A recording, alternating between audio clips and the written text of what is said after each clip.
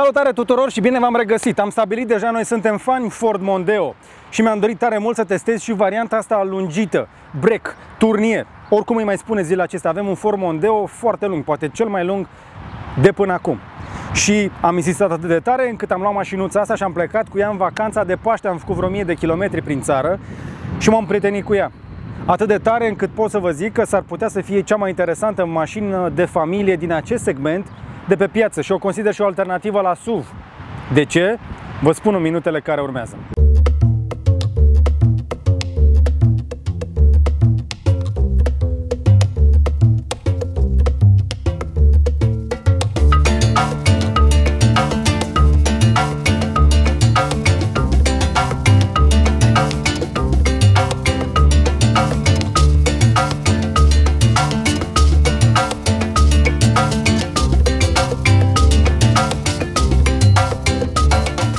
Asta îmi place cel mai mult din lateral. Botul deja m-a convins, arată foarte bine, îl știm de la sedan. Însă aici poți să vezi cu adevărat ce înseamnă o mașină lungă care nu se jenează cu dimensiunile ei. Și totuși, ca să pară dinamică, să fie sportivă, cel puțin ca aspect, are o muchie aici și încă una în dreptul mânerelor, apoi suprafața asta vitrată care este ajutată cu niște chestii de plexi negru, astfel încât să o etajăm. Șinele de pe plafon, iarăși din aluminiu, o fac să arate foarte bine, însă sunt și utile, poți să adaugi bagaj suplimentar pentru acele vacanțe foarte lungi. În nivelul ăsta de echipare titanium am inclusiv o grămadă de crom peste tot și niște jante pe 18 inch. Cât de tare! Pe segmentul ăsta să ai astfel de opțiuni, o mașină cu adevărat frumoasă. Am uh, keyless uh, entry, soft uh, și închidere și deschidere cu cheia din buzunar pe toate ușile, adică pot să fac așa, să încui sau să deschid mașina când bag mâna aici și ce mă interesează iarăși foarte mult la, mașina, la o mașină de genul ăsta e spațiul pentru cei din spate. Pentru că, hai să fim sinceri până la capăt, atunci când îți iei o mașină de genul ăsta, te gândești mai puțin la tine și mai mult la familie. Ce capătă familia la interior? Enorm de mult spațiu, exact așa cum își doreau. Ia uite cât spațiu am la genunchi vreo 25-30 de centimetri încă mai am loc acolo. Podeaua este aproape plană, mai am o mică diferență de nivel, două guri de ventilație, priză de 12 volți și un LED pentru iluminare ambientală. Scaunele din piele au piele și pe spate. Hmm? O lumină aici de curtoazie, mânere pentru toți pasagerii de siguranță, iar partea care îmi place mie cel mai tare Centurile astea cu airbag sunt o opțiune suplimentară, sunt centuri care se umflă. Așadar, în momentul în care ți-ai pus o centură de felul ăsta, este și ceva mai mare decât o centură obișnuită. Cei care o să o poarte o să o vadă cam așa, mai grosuță. În cazul unui impact, se umflă și nu-ți va rupe oasele pieptului în momentul în care apare decelerarea aceea brutală. Important e să nu ajungi să, să ai nevoie de așa ceva. Mie mi-a pus însă o problemă această centură. A fost un pic mai greu să-mi prind scaunul de copil cu fața înainte. Aveam un scaun care se prindea prin centură, așa că l-am pus isofix, iar copilul s-a uitat tot timpul spre înapoi. E ok până pe la vreo 3 ani să se uite copilul înapoi, să stea cu spatele spre înainte, însă după vârsta aceea o să cam vrea să vadă drumul, pentru că deja evident, a mai crescut. Așadar, spațiu bun pentru cei din spate, geamuri cu vizibilitate bună, fumurii și cu protecție termică la un drum lung. Nu o să mai ai nevoie nici de perdeluțe. Și iată, și discreție, nu se vede nimic spre înăuntru. Însă, la o săniuță de felul ăsta, te interesează foarte tare și porbagajul. De acum nu mai e o treabă rezervată mașinilor premium să ai un porbagaj care se deschide automat. Și în cazul uh, lui Mondeo poți să apăs la buton Însă trebuie să fii cu băgare de seamă, să faci o jumătate de pas înapoi pentru că s-ar putea să te lovească peste zona mediană, să-i spunem. O să-l închid la loc de la buton și piuie ca să mă atenționeze, vezi că se închide să nu-ți dea peste cap. Vine destul de mult în afară. Trebuie să te obișnuiești cu chestia asta, e bine că e așa. Dar se poate și din cheie. Iar pe cheie am butonul pe care apăs de două ori pentru descuiere, la fel.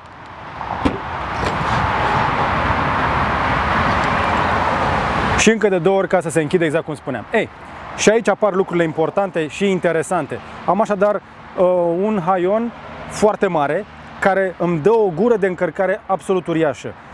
Una dintre cele mai mari pe care le-am văzut până acum și vine până atât de jos ușa, încât partea propriu-zisă de încărcare este chiar mai sus decât marginea, decât chederele și uh, uh, bara din plastic de aici din spate. Foarte, foarte mare, cu un acces foarte bun. Poți să iei lucrurile de jos și țac, țac, le urci imediat aici. Asta îmi place. Totuși, partea asta metalică, lucioasă, se va zgâria în utilizare. Ăsta e un sacrificiu pe care trebuie să-l faci. Uh, Ce îmi place este că au pus aici o bandă reflectorizantă roșie. Dacă e haionul deschis, evident, stopurile nu se vor mai vedea noaptea. Însă banda asta reflectorizantă trebuie să te salveze de un neatent care vine puternic din spate. Evident, mai am aici LED-urile acestea și niște luminițe care ar trebui să mă mai ajute cât de cât și din spate, mai mult din lateral. Bun, ruloul se culisează rapid înapoi, pot să-l scot cu totul și să-l dau la o parte și descoper aici o zonă de încărcare exact așa cum îmi doream pe această clasă. Foarte, foarte mare. Îți pot încăpea cel puțin 4-5 geamantane și alte obiecte mai mici, iar acolo de desubt avem și roată de rezervă. Bancheta este fracționabilă 40, 20, 40 sau 60, 40 în cazul nostru. Am priză de 12 V aici, cârlige pentru uh, bagaje suplimentare, cam lucrurile normale pe care, din nou, spuneam, le aștepți pe această clasă, în această zonă. Încă o chestie care iarăși mi-a plăcut, o treabă de bun simț. Aici, la lunetă, am o plasă. Dar hai să vedem ce face plasa asta, că dacă închid, o să-mi dau seama că treaba ei este pur și simplu să ofere și mai multă intimitate în cazul în care ai lucruri în portbagaj. Însă, luneta fiind deja fumurie, nu se vede aproape nimic înăuntru. Așadar, mare atenție la nevoile tale. Foarte tare. Și foarte mulți senzori de parcare, inclusiv pe lateral. Ăștia din lateral sunt extrem de sensibili, ajută la parcarea automată, o chestie pe care avem pe Focus de vreo 4-5 ani deja și evident, iată, și pe Mondeo. Despre spate nu am foarte multe lucruri de spus. În nivelul ăsta de echipare mai avem niște zone lucioase și două guri de eșapament uh, cromate, însă având un motor pe benzină turbo, o să vezi că chiar se adună negrelul la capul tobei. Pentru că am condus-o multe sute de kilometri și, evident, s-a adunat acolo. Cheie la mine, pedala de frână și butonul de start-stop e la tine. Avem camere de mers cu spatele, mi se pare foarte strălucită rezoluția. Da, e suficient. Cât să îți dai seama dacă lovești pe cineva sau nu. Însă am observat că, deși este break, am uh, uh, vizibilitate bună și pe lunetă. Mie nu mi se pare așa bună, sincer. Mi se pare foarte lungă sau probabil și din cauza geamurilor fumurii. Dar te ajută foarte bine camera, că îți arată inclusiv unde pică roțile și parcările cu spatele în moluri este... Sunt, sunt o plăcere. Da, sunt o plăcere, exact. O mașină lungă întotdeauna. Da. O aici mai lungă din parcare. Hai să vedem acum cum uh, facem cu plecarea de pe loc. Că asta este... E cam așa.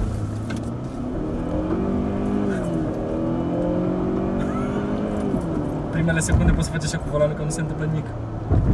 Nimic nu se întâmplă. Și după aia poți să te așezi liniștit. Stai că eram pe sport, o dăm unde. Te așezi liniștit. Mergem la 2000, 1500 de ture, 60 la oră. Deja este liniște, nici nu mai simți că e un motor de 2 litri și cât 240 de cai putere. 2 litri benzină turbo, 240 de cai putere. Înfricoșător, cel puțin din specificații, însă e o, o poveste foarte diferită față de un 2.0 diesel obișnuit, chiar dacă e să-l compar și cu cel uh, de la Ford pe care l-am condus deja. Mi-a plăcut că am apucat să testez uh, un 2 litri benzină turbo și asta pentru a avea, a avea o opinie separată, să zicem, o altă variantă. Prima, prima senzație, l-ai pornit, este foarte silențios. Mașina foarte bine insonorizată, cu motor pe benzină nu vei auzi decât oglinzile, de pe la vreo 130-140 pe autostradă, puțin mai tare, evident, și anvelopele. În rest, liniște. Stai așa. Hai să vedem și un consum instantaneu. Uh, Da, da. Nu, nu, dă nu, înapoi. nu, nu, trei, Fuel, nu, nu, stai, fuel economy. trei computer. Stai, mă. Ăla e stai trip, așa. trip computerul meu, 11. adică consumul com- combinat Ah, de trei 10. Fiule con... Da, că este... Da, exact. Așa. Da. Era Deci sus se 5,9. vede instantaneul și medianul este de 10%, un consum combinat oraș cu drum lung. 10% pentru un motor de 240 de cai pe o mașină relativ grea, nu mi se pare mult. Pentru că îți oferă senzațiile alea de care ai nevoie atunci când pornești într-o depășire. Dar despre asta o să vorbim îndată. Uh, Dacă conduci bătrânește, economic, un copil care doarme în spate, eu am făcut consumuri de 7 jumate la drum lung, ceea ce nu e rău, iarăși, pentru o mașină uh, relativ puternică pe benzină și un pic grea. Însă, însă sunt convins că pe diesel ar fi fost mult mai economică. Dar mașina asta nu este pentru cei care vor un diesel. Uh, vor, pen- e pentru cei care vor senzația asta când apasă pedala la fond, kick down. Ai simțit cum a coborât două trepte? Uh, N-am simțit, cutia schimbă foarte bine. Trebuie să te uiți ca să vezi că a schimbat într-adevăr. A două coborât, trepte. a coborât două trepte pentru a-ți da uh, puterea, pentru a urca acul cât mai aproape de roșu, de 5.000 jumate, 6.000, 6.000 jumate de ture, pentru a-ți da caii ăia pe care îi promite, cel puțin în cartea tehnică. Păi ideea e simplă, ai un motor deja 2 litri care aspirat ar fi fost foarte puternic.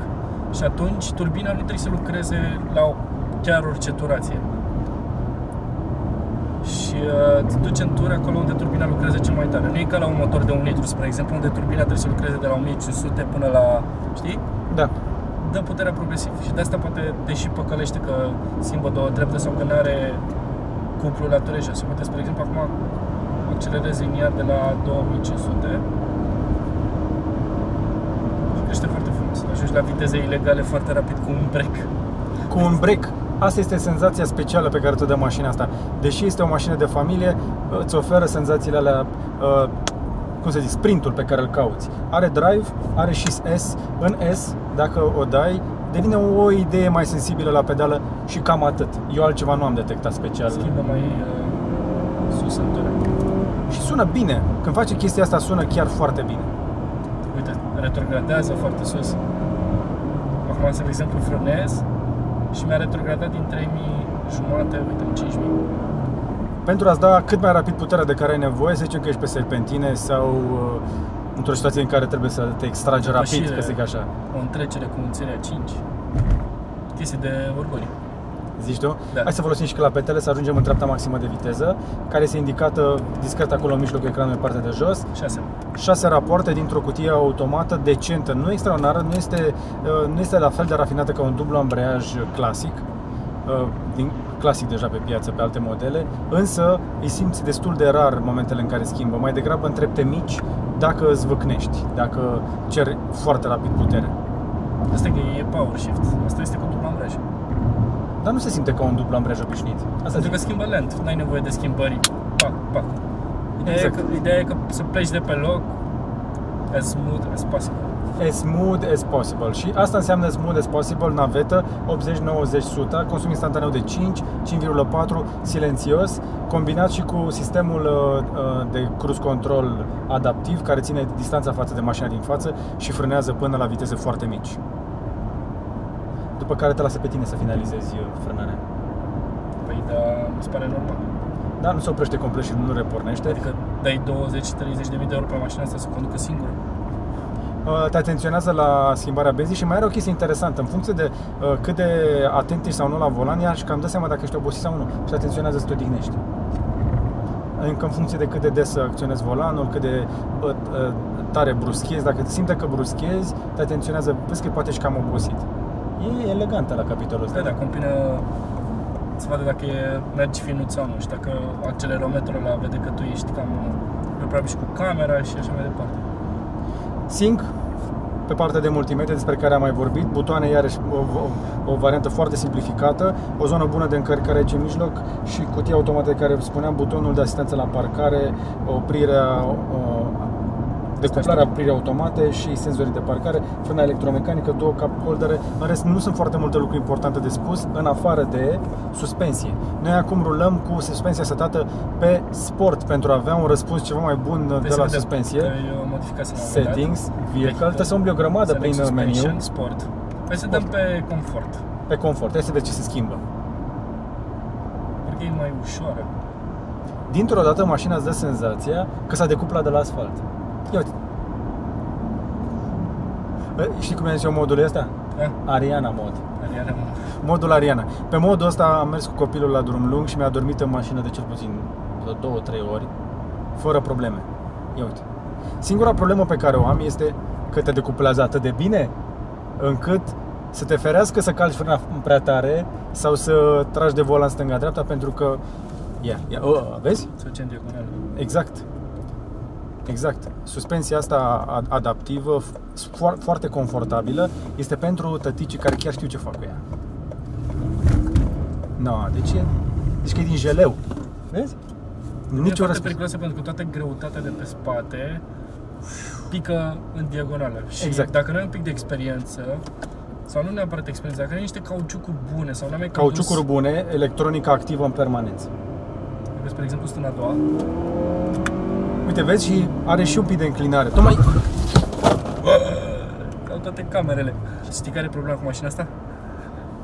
Este atât de lungă încât prinde inerție acolo în spate. Bă, da. Așa este. Hai că s-au dus bine. S-a oprit în scaunul meu, noroc că s-a oprit în scaun, că am un trepied de 20 de kg în spate. S-a așezat. S-a așezat bine, nu? Da. A. Asta înseamnă o suspensie soft. Așadar, dacă vreți mașină confortabilă, luați-vă pachetul titanium cu suspensia asta adaptivă. O să căutați, să, o să învățați să căutați suspensia prin uh, meniu pe acolo. O poți schimba și din mers, însă mi-aș plăcut să am un buton dedicat aici undeva pe consolă. Da, la ea mă uitam și eu, că tu ziceai că am există. mers cu ea în modul sport și mi-am Pentru dat că știam că am seama- setat-o eu. Mi-am dat seama și după aia am intrat în modul intuitiv Ford da, exact. Nu degeaba o fabrică la Craiova Îmi cer scuze, dar e o glumă din popor Nu e la Craiova, e în Oltenia. Da, ok Așa. uh, Și am uh, găsit foarte ușor acolo din uh, cele foarte multe butoane de pe volan Deci practic am mutat, uite că a, sar de la una la alta Am mutat butoanele de pe consolă Le-am mutat într-un meniu acolo. Pe volan Dar trebuie să zici mersi că de acum uh, afișajul este co- o combinație de afișaj de display cu ceva care duce așa analogic, însă acul este digital, uh, meniuri, au o mulțime de informații acolo în bord astfel încât să te uiți cât mai puțin aici. Și o să ajungi să te uiți destul de puțin la sync. Mai degrabă pentru navigație. M-a navigat fără probleme până la Viscri. Are moduri diferite de vizionare a hărții, poți să faci și așa, să vezi care motor a manevră, uh, unghiuri de înclinare, distanță și așa mai departe. Sau împărțirea asta în patru ori mi se pare foarte interesantă. Telefonul conectat aici, navigația în dreapta, partea de radio- entertainment, Și partea interesantă, nu doar că le-ai împărțite ca informație sunt și active. Sunt și active, adică poți să schimb uh, radiourile în timp ce Încălzești uh, scaunele. Îi fac gluma lui George Las că ți le încălzești și ție. Și Ah. uite, uite, vezi că butoanele de încălzire au corespondent și aici. Dacă poți aici, s-au prins și pe consolă, și, dar pentru volan nu am pe consolă. Niciun buton, este doar aici în meniu. E, oricum o să-ți fie cel mai mult împărțit așa. Mi se Exact. pare foarte ok. Uh, buton- Climatizare la fel, trebuie să o cauți așa pentru zona cea mai com- complicată sau pur și simplu temperatura de aici și ventilație. Și cam atât, asta e mașinuța. Se aud foarte bine Pentru mine la vizoarele. suspensie nu există decât două moduri așa, dar confort și sport, normal nu știu la ce folosește. Probabil e undeva între. Serios, în meniu da. Îți Jur că așa e. Trebuie să mă crezi. Însă, suspensia confortabilă am ales-o și am mers cu dragă inimă cu ea la drum lung, chiar dacă mi-aș plăcut să mă joc mai des cu motorul, pe care l-am folosit mai degrabă așadar la depășire, accelerație în linie dreaptă, mai puțin pe viraje. Pe viraje neapărat suspensia pe sport și uh, să n-ai oameni în spate pentru că o să cam arunci stânga-dreapta, o să îi zăpăcești și o să le vină rău. Pentru că Cum mașina se e pare în lungă. oraș? În oraș, uh, servodirecția nu are cine știe ce răspuns, dar asta nu mă deranjează, e suficient de soft și răspunde bine. Am vizibilitate bună pe toate colțurile, inclusiv pe spate. Mă ajută și- și senzorii de parcare, cei de pe laterale, că au pentru a găsi locurile de parcare, sunt un pic cam sensibili. Și nu doar uh, că ieși din locurile de parcare, ci și te avertizează atunci când ieși din parcare cu spatele. Exact. Te anunță, vezi că ai mașină sau ceva, știi, în cazul în care nu vezi, pentru că stâlpii ăia de acolo, între Stâlpii geamul ce? lateral și uh, haion, sunt foarte groși. Exact. Așadar, dacă ești cu spatele dintr-o străduță secundară sau din parcare, mașina vede și la distanțe foarte mari dacă vin mașini și îți va piui în bord în funcție de opțiunea pe care o ai pe mașină. Adică nu e un Focus Pre-Plan, e un Mondeo. E un Mondeo și e un Mondeo lung și fain. Fain, deci mie mi-a plăcut mașina asta. Mi-aș lua cu nivelul ăsta de echipare dacă ar fi a doua mașină să fie mașina de plecat la drum lung. Sau dacă ar fi singura mașină în condițiile în care în oraș merg cu bicicleta la serviciu sau fac naveta cu transportul în comun, în oraș nu. Iar la drum lung este pentru un șofer mai orgolios care vrea o benzină pentru kickdown, pentru depășiri rapide, pentru silențiozitate, rafinament, pentru că e fan benzină. Hai să spunem că nu e pentru București. Că că e în pentru niciun caz nu e Brașov, pentru oraș. Nu știu, Timișoara, Cluj, orașe care Nici abia acum se măcar. aglomerează mai tare. Și Brașov este aglomerat în timpul săptămânii. Nu vrei să vii cu mașina asta în oraș în timpul săptămânii. Nu știu, dacă ai o, o fermă, dacă faci naveta, Uite, ne mergem pe banda 1, vezi? De nivelele cât de bine sunt preluate? da, Și sunt și gropi. da. Foarte puțin uh, se simte în mașină. E chiar, o- e, e chiar ok. Ok, Iuț. Așadar, ca să încheiem, s- mașina asta îmi place pentru spațiu, confort, scaune foarte bune, suspensia excepțională pe segmentul ăsta, uh, un motor rafinat cu o transmisie automată de bună calitate, nu excepțională, dar de bună calitate și o mașină care e frumoasă. Asta e cel mai important. Cel e puțin frumoasă. nu e frumoasă când o vezi pe loc. Când, știi, când o vezi oprită. Este foarte frumoasă când o vezi așa, când o depășești din altă mașină, știi, și merge cu vreo 50 km la oră. Se așează Da. atât de bine pe drum, Exact. jantele foarte Atrage mari. priviri. Și este un break care atrage priviri. Au venit la mine oameni, în general mai copți, așa spre 50, care să spună că e foarte frumoasă și au comparat evident cu Passatul, în segmentul ăsta Passatul este concurentul și au spus că îi atrage. De asemenea, nu uităm de diferențele mari de costuri între versiunile superioare de echipare la Volkswagen și la Ford, ceea ce face mașina asta foarte atractivă pentru niște familii care vor o mașină spațioasă și și-au scos din cap prostia cu SUV. Nu mai știu dacă e subvenționat de asta titanium, pachetele superioare. Știi că era o perioadă în care uh, Ford n-ar fi vrut mașini uh, echipate slab și atunci titanium, pachetele de sus erau cumva subvenționate și puteai să iei la prețuri foarte bune. Da, sunt tare curios. Oricum, pe segmentul ăsta de volum, mașina asta arată mașină premium, ceea ce ne arată că evoluția din ultimii ani a producătorilor auto care au împins așadar zona de mașină accesibilă spre mediu, cei din zona medie de volum s-au dus spre premium și acum cei din premium se duc spre luxury. E, de luxury nu știu ce mai fac. Deci ce o să mai facă în curând Bentley, Rolls-Royce, ce o să mai aducă la interior? Tot Uite. piele, aluminiu, lemn? O să fac o glumă acum. Uite, Aston Martin Break. Aston Martin Break. Și cu asta am încheiat. Mai ai ceva de zis? Da, hai să opresc motorul. Da, nu, nu mai nimic de zis. Uh, mergeți și faceți un test drive. Apoi mergeți și faceți un test drive și cu un Volkswagen. Comparațiile, comparația de opțiuni. Și alegeți cu inima, înainte de toate. Mașinile de genul ăsta se aleg în primul rând pentru utilitate. O insist încă o dată, dacă aveți bani de SUV, luați-vă mașina asta. E mult mai bună. Mai spațioasă, mai confortabilă, mai economică, mai ieftină. Mai ieftină. Uite cât de confortabilă. Nu o să ai niciodată atâta spațiu într-un SUV. Never ever. Ever. Ever, ever. Eba, eba. A, și apropo, să spui suspensie de genul ăsta pe un SUV, doar pe zona premium. 60, Da, 80 da, de da. mii, asta e sub jumătate de preț. Da, X5, X6, Q7, Q7, uh, Range Rover. e, deja te duci în luxury. Gata. Și cu asta am încheiat, așteptăm impresiile voastre despre... Mă, mă, mă! Încălzirea măsii de treabă.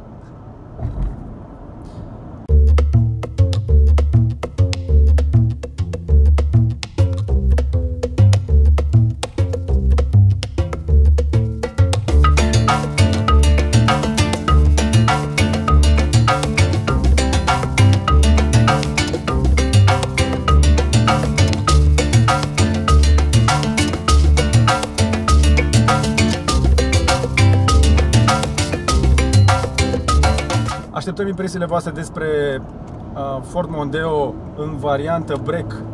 Mai jos pe blog, dați-ne un comentariu, un like, un share, un plus 1. Nu uitați să dați subscribe pe aici. Și dacă mai vreți să vedeți și alte teste, da, subscribe. Mai vreți? Mai vreți mașini? Practic e ca și cum vă abonați la canalul nostru și primiți un mail când urcăm altceva. Abonați-vă ca să primiți toate testele atunci când apar. Chiar să fiți primii. Să Exact. Com- da. Și trebuie să vă mai spunem ceva. Rămân gratis testele.